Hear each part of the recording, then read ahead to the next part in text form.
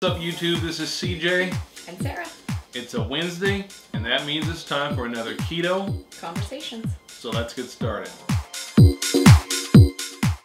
So it's another week. Uh, we're at the end of January. Uh, February is in full view. We've got a birthday party this weekend. Yep, I have a groundhog. A what? A groundhog. Her Yeah. birthday is on Groundhog Day. Oh, my we aren't celebrating it on Groundhog I'm Day like- because the poor munchkin has to share with the Super Bowl, and that's I'm like, just not wow, fair. we have a groundhog? I didn't know we had a groundhog. Okay. She shouldn't have to share with a pigskin. So. Yeah, that's, yeah, she gets a little bit shortchanged every year. yes. So. We're deep into 2020. Yes. and hopefully everyone is having success uh, with your keto diet, keto lifestyle. If you just started, don't give up. Uh, it's not too late. Year's just starting. You can make course corrections and keep going. And hopefully this topic will be helpful. Yeah, hopefully this topic will be helpful. So what we're talking about this week is how to do keto on a budget. Uh, seven tips. We actually have actually done this before, but uh, we have, you know, we've It's learned. over a year. Yeah, we've learned things as we do keto all the time as a lifestyle. So the the points may be exactly the same, but what we may say in between, with regards to the point uh, points, probably will be a little bit different, just because we've learned and have more experience as well. And we do get new subscribers, and sometimes people will not go back and look at our older videos. So as we are continuing to get new people interested Yeah. in our channel or in in the ketogenic lifestyle, sometimes keeping Yeah. the topics relevant now. And we, you know, last week we touched on this a little bit. We talked about uh, one of the things we wish, we, as one of the things we wish we would have known about keto when we started, and that was about the expense. Right. Um, and we kind of talked about that. So this, that's kind of where this came from. We, you know, we it, we thought it'd be a good fit, especially if you're new to Elaborate. keto, new to the keto lifestyle. So this is how to do keto on the budget, seven tips and we will get rolling with this. So number one, Sarah wrote the list down. So we're just going to read off the list as far as the topics. Keep it simple is the first thing. Yes. So that's basically not relying on elaborate dishes daily. And that is not to insinuate that you don't want to make new creative foods or learn how to make ketogenic foods off of familiar family favorites. It's just that sometimes those types of dishes can require extra time or extra specialty ingredients, and that can be expensive, especially when you're starting out. Yeah. So if, you know, for your basic meals, you stick with simple things, meat, vegetables, um, things like butter and olive oil can help keep your budget manageable. And then save maybe, you know, something that requires more costly ingredients for maybe once a week or on the weekends, something Sure. like that. Sure. And so if we were to look at how we do keto, so we do these videos, we do a new recipe every week, but when we don't have the food from the recipe, our keto is very basic. I have chicken hindquarters in the oven Yes. right now and we're having green beans with it. Yes. So it's not anything that cost a lot of money or that is super fancy. That is the way we generally eat Yeah. most of the week, unless we are creating a recipe. So, like CJ said, although we make recipes, we do not eat those foods all the time. We mostly eat them when we create the recipe. Right. And then sometimes I will remake a recipe. Yeah, and sometimes we right you go back Right. and Like we we get, had chili dog casserole last week Yeah. because I had extra ground beef yeah not enough for, for me to make a complete meal, but it would make the addition to that casserole. And so that's generally Right. what we will do. right. So keep it simple. Our channel is about giving you options, but again, sometimes doing those options are may may be more expensive, especially when you're first starting out. Yes. Uh, when you're first starting out, you there's ingredients that you need to you know you may need to buy and get familiar with where to buy stuff Right. from, and so keep your keto simple because even us with us doing keto almost four years now, we still keep keto simple Yes. for the most part. Yes. Uh, number two is buy in bulk. So referencing what you were discussing already in specialty ingredients, things like almond flour, natural sweeteners, some of those things Yeah. can be a little bit more cost prohibitive.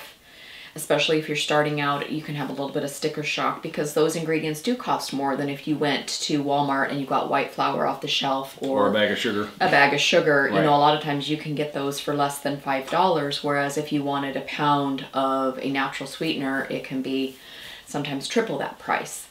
But also keep in mind that buying in a larger quantity can help you save money in the long run and that you're not going to be using those foods in the same manner that maybe you would with the foods that we already talked about as far as white flour and things like that. You're Sure. not going to be creating as many elaborate dishes with it, so you probably will not go through it as quickly as you would if you were a baker.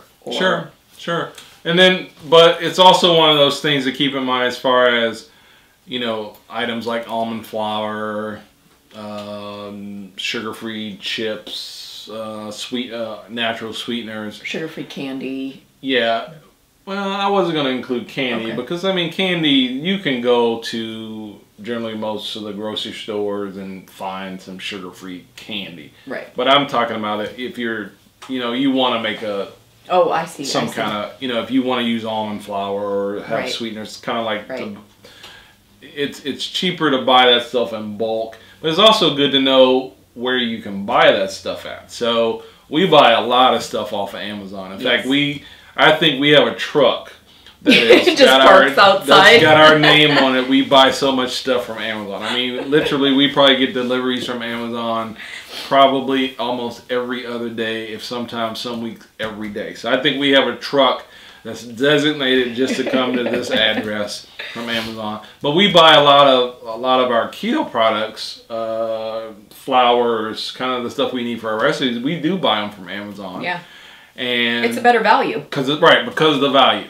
not because we. Um, yeah, that's it. There's no no other reason. I mean, We- and it comes to your house. and it comes so to our house. You don't So have to go anywhere. Yeah, It's convenient. That's another but reason. but we buy it because it's it's the we can find good deals on Amazon. Exactly, because I could go into Walmart right now and I could get a bag of Swerve, just as throwing out a brand name, for a natural sweetener. Right. But what I would pay for, you know, like 10 or 12 ounces, sometimes even 9 ounces of Swerve, a brand name product, I can go on Amazon and buy a pound Right. of a natural sweetener that is not a name brand, but there's lots of companies out there making them. There's, you know, Anthony's, there's uh, So Nourished, there's Right. lots of brands on Amazon selling, and I've been very happy with their products. Right. But you can get a pound of the same natural sweetener and pay the same price, sometimes less. Right. So for me, it's it's all on price per ounce is Yeah. what it equals out to. Yeah. So you know, buy in bulk, shop smart. Um, although you know we have recognized that even you mentioned Walmart. I mean, so we shop at Walmart Mm-hmm. a lot, but we also shop at other grocery stores.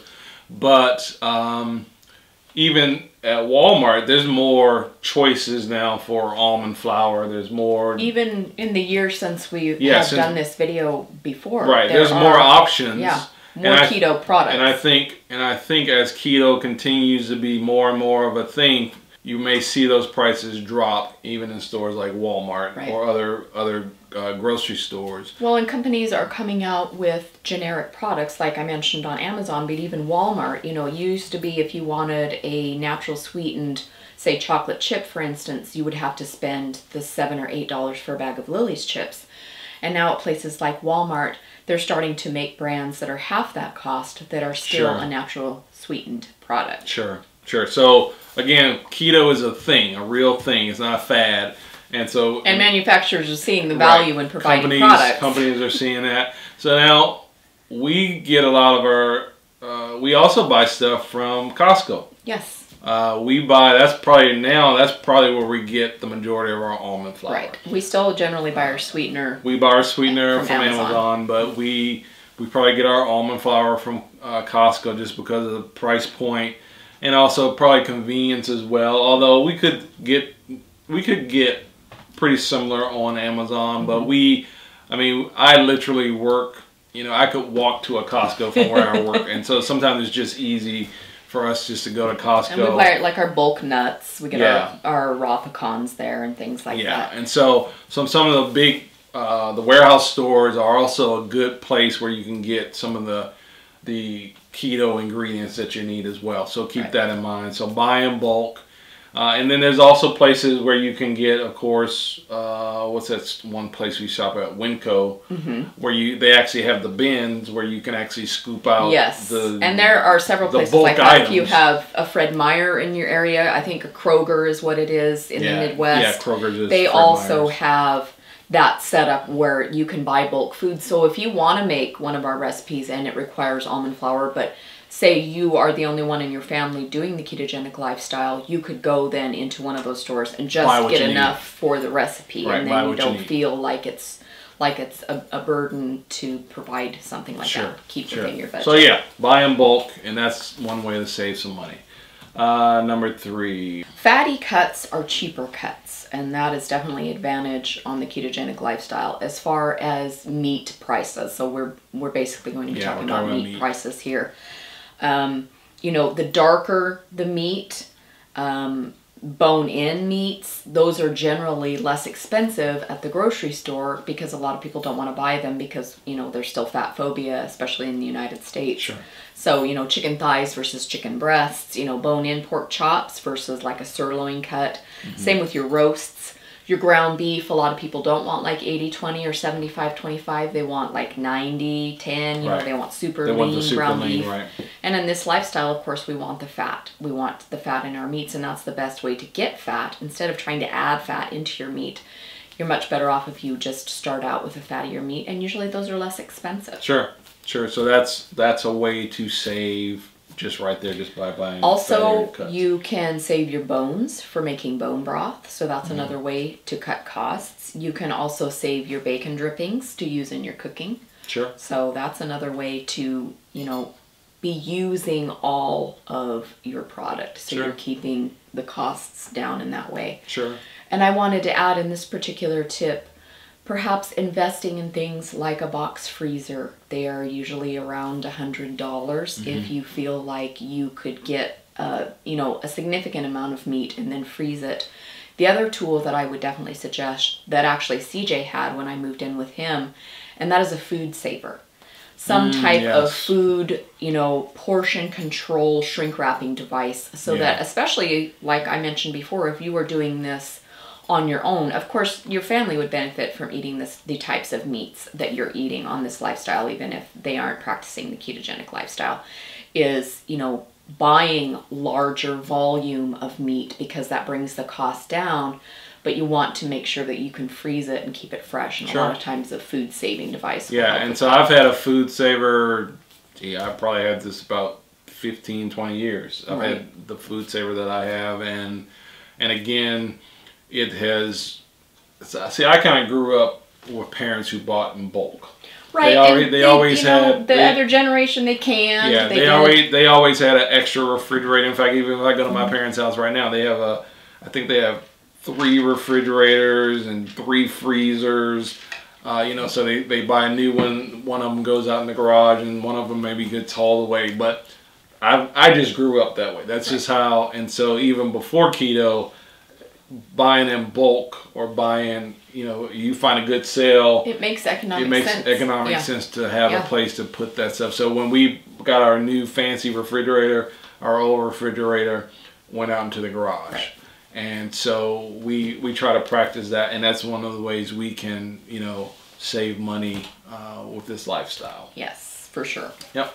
All right. Okay, so tip number four shop sales. And Yeah, that goes go- along with goes what along we've with what we already discussed. about, But um, there, a lot of places will send you sales circulars in the mail. You can also do things digitally, digital coupons, that kind of thing. So a lot of uh, most grocery stores are extremely competitive with what is on sale. So most stores will have some kind of meat on sale every week.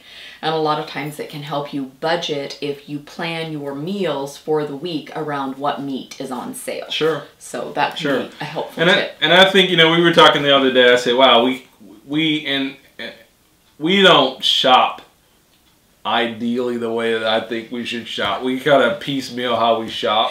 Sometimes I'll um, buy Yeah, Daily. we're- yeah, we're buying stuff all the time, and because I was the reason that the conversation came up is I was thinking, wow, we could do these uh, you know, grocery haul videos. Right. But we're going. I mean, sometimes she'll go to the store, or sometimes I'm going to the store, and and but if you planned your meals out, that's where I was going with this point. Is if if you planned your meals out in advance, you probably could even save more money because you Right. planned it out for the week.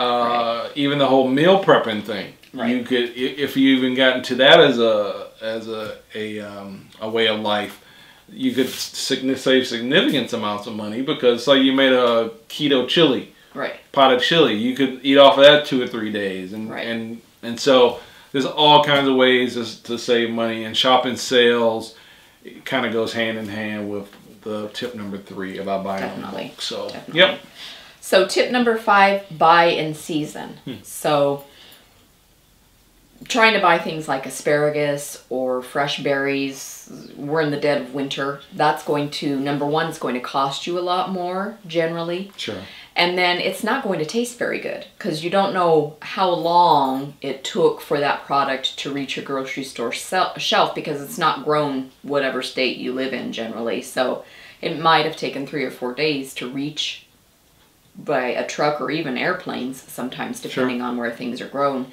So it's going to be more expensive and it's also not going to be very fresh. So try to eat within the season, whatever the season's vegetables are producing, which kind of goes back to your initial hunter gatherer type idea, anyways, because a lot of foods would not be eaten year round.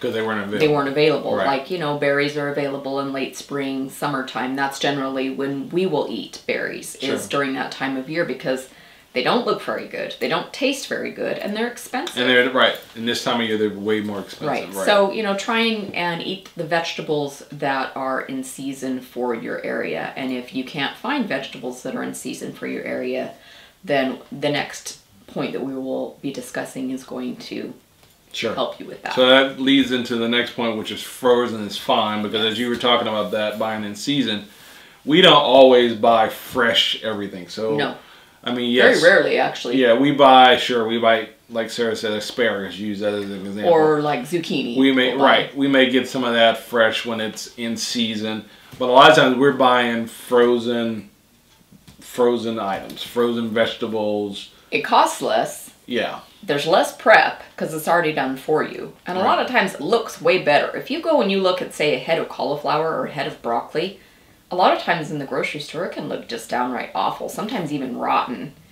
And when you can just go into the frozen section and buy a bag that's already prepared and it's much less expensive, sure. like if I was going to buy a head of cauliflower, I'm looking at three or four dollars for a head of cauliflower where I go into the frozen section and I can get 12 ounces and it's 99 cents. Sure. So Sure. obviously there's a value Now, there. but now I guess that would also lead to the whole question about food quality Right. and, and, and, and organic this and farm raised that. Right. And we have always said and believed because we know that you do not have to have totally fresh vegetables and frozen is fine. You don't have to have grass fed Organic. organic products to be successful on keto. You need to do what you can do and what you can afford, what your budget affords. Now, if your budget, you can afford those things and you want to have those things, more power to you. But that is not how we had success on keto because we couldn't afford those things. So we did what what we could where we were, Right. and uh, and it worked just fine. And you can always identify maybe a specific area that you feel, you know, that's very important to you. If Sure. there is something that you prefer that is extremely important to you, some people like to buy Kerrygold butter or Sure. grass-fed beef. Yep, and that's a good point though. When we first started, mm-hmm. we were buying a lot of Kerrygold. But butter. we just soon discovered that we go through a lot of butter. yeah, we, we, but we were buying Kerrygold butter. We were buying it from Costco, and but then we Well, kind and our children eat butter too. It's not Yeah. like we buy them margarine or something else, Right. you know. So as as a family, we go through a lot of dairy. Yeah. And so for us, it di- it just doesn't make sense. yeah, it just economically it did make sense to just buy Kerrygold, and then we started. Yes, is there a difference in the quality? Yes, there is. Yes. We have to admit that there's a difference, Of course. but But again, because we use butter so much, it's just not economically feasible for us to No. to exclusively use Kerrygold And and, everything. It's the same with mm-hmm. grass fed beef. I don't particularly prefer the taste of grass fed beef. There are a lot of people who do. And if that is you, then absolutely make that your priority in your budget. Maybe skimp in some other ways to provide yourself with that ingredient. I happen to prefer corn fed, corn fed beef. But that's just me. Everyone is different. Sure. So definitely do what feels most important to you. But like CJ said, it you're going to do just fine without a pile of expensive organic or grass-fed Sure. foods. Sure. All right. So- What- I don't know what number we're. We are on number seven. We are on our last point. What's number seven? Okay. This is where we're going to be talking about specialty ingredients and trying to get a value with specialty ingredients. So a couple of things that we already talked about. The almond flour, buying on, you know, Online. online, buying in bulk. or, or big box store. um, things can last a long time, especially if you're the only one using it. So try and keep that in mind when we're talking about specialty products. Is that mm-hmm. if you buy a bag of almond flour, it's probably going to last you a long time. You might even have to keep it in the refrigerator if you feel that you're not going through it in order to keep its freshness. And we also discussed the other point about start looking for some of these foods in your local grocery stores because more and more companies are coming out with these style of products to mimic the name brand expensive ones. Sure. But the point that I wanted to mention with this particular tip is in the same vein, watch out for products that are marketed as keto products because sometimes that couldn't be farther from the truth.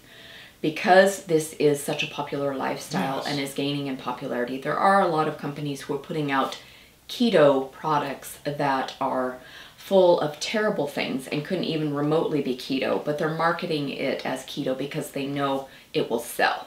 Right, right, and and and so that is that is a very important tip. There's a lot of stuff now, keto this, keto that. You still need to look at the ingredients. Right. Um, I purchased some. What was it? Bone broth or Yes. something. I don't know if it necessarily said keto on it. I can't remember. Just say I don't have it in front of me. But we when I got it from Amazon, Mm-hmm. we looked at it and it was three carbs. We were like, For a serving. for a serving. And so it was kind of like, well, where are the carbs coming from? Because it's, it's supposed to be, you know, Just b- powdered bone broth. Powdered bone broth. It doesn't have any sugar So in it. So we started looking at the ingredients, and yeah, it was there's other stuff in there that you know we probably don't need to have. Right. Even though it's kind of geared toward keto. Because then you found a similar product elsewhere that's powdered bone broth and it doesn't have any zero- carbs at all. right, And tastes carbs. better. Tastes so better, right. once again, definitely look out. You know, I know that um, a lot of product or a lot of companies such as Slim Fast and some of these other companies are putting out products that they are marketing as ketogenic Right. products and they aren't necessarily number one the best value and number two anything remotely close to the things that we probably should Sure. be eating. Sure. So, Sure. So yes, specialty products. Um, do your homework. Find the best deals that you can, and um, I think if you follow these tips, you can actually save money and do keto just fine without it being a, a big burden on on your budget. Uh, we this is how we um, we live and how we practice keto, and so we know it can work for you. And if Uh, you have any tips that you have found by practicing this lifestyle, definitely leave them in the comments Yeah, below. 'cause we love we to like to share. Yeah, like to Collective brain. Sure.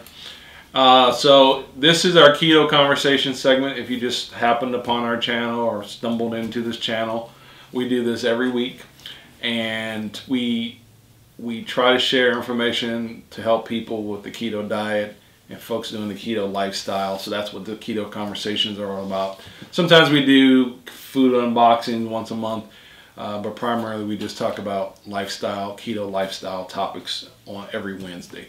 We do new recipes every Sunday, so consider subscribing. Uh, we'd love to have you as part of our, of our keto family or keto community, and we all we are all about trying to help you be successful, but also helping all of our community be successful uh, on their keto journey as well. So, thanks for being here. We hope that you have a great rest of the week, and we will talk at you later. Bye bye. Peace. Peace. I ain't giving you up. Get love and. Giving you up. No, no,